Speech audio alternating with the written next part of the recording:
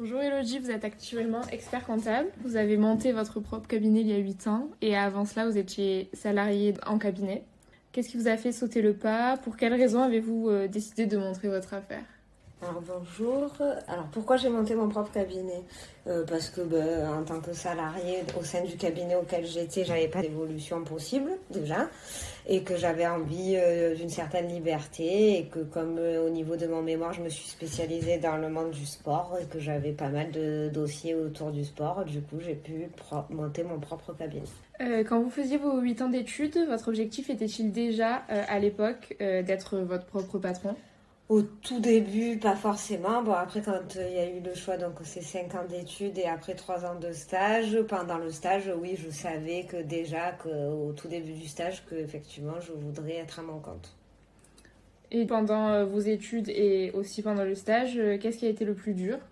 Bon, c'est quand même des études un peu techniques, donc sur les dernières années, c'est des concours euh, donc c'est un peu quand même euh, compliqué. Enfin voilà, donc surtout que nous à l'époque, je crois que maintenant ça a été réformé, on passait les, les, examens en septembre, donc on bossait tout l'été. Donc ça c'était sur les deux dernières années, c'est le DECF et DESCF. Et après, je trouve que ce qui a été le plus dur, c'est de passer les dernières épreuves du DEC, donc la finalité, parce qu'en fait, on travaille en cabinet où on a un volume de travail très important et on doit quand même réviser des matières à l'écrit, trois matières, plus soutenir un mémoire euh, qui est assez important d'une centaine de pages. Donc là, mm. effectivement, de concilier euh, ben, le cabinet, euh, les portefeuilles qu'on avait, c'était assez important parce qu'on avait des postes à responsabilité, plus de finir les mémoires et d'aller passer les examens à mm. Paris. Ça a été, au lieu de me prendre trois ans, ça m'a pris quatre ans. Est-ce qu'il y a eu un choc entre la vie en cabinet, enfin entre vos études et la vie en cabinet? Oui, donc au moment du stage, quand on arrive, on a l'impression de rien savoir. Hein parce que tout ce qu'on apprend, c'est hyper technique, hyper théorique. Moi, dans mes études, j'ai jamais travaillé sur les logiciels comptables. Donc, mm. euh, quand je suis arrivée en stage d'expertise comptable, donc c'est expert comptable stagiaire, euh, je savais même pas saisir une écriture, je passais les emprunts à l'envers, euh, j'étais complètement perdue.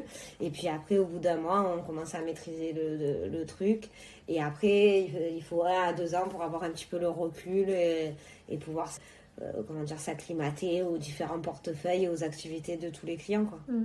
Et euh, quels sont les avantages et les inconvénients d'avoir euh, monté votre propre affaire? J'imagine que, la charge de travail n'est pas la même et ça doit également affecter votre vie personnelle. Alors, avantage, c'est qu'il y a une certaine liberté quand même. Ça dépend quand c'est un plus gros cabinet. Moi, c'est parce que j'ai choisi d'être dans une petite structure où on est trois.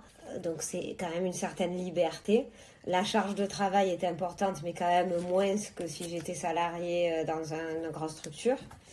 Après, elle est plus complète et plus anxiogène puisqu'on est euh, du coup en direct tout total avec les clients tout le temps. Mm. Et après, euh, il y a des périodes d'accalmie et dans les grosses périodes de bourre, effectivement, euh, c'est ben, c'est beaucoup plus anxiogène parce que c'est votre propre affaire, c'est comme un enfant quoi. Donc c'est pas pareil que quand on est salarié et que ben, la paye elle tombe à la fin du mois là quand les clients ils vous payent pas ou qu'il y a des gros dossiers qui partent parce qu'ils sont pas contents de votre travail, c'est pas la même chose que quand on est salarié. Il faut se donner un petit peu plus. Mm. et accepter un peu plus de choses Donc de ça, la part des clients. Ouais. Ok. Rendez-vous sur le site francebienvenue1.fr pour plus de contenu.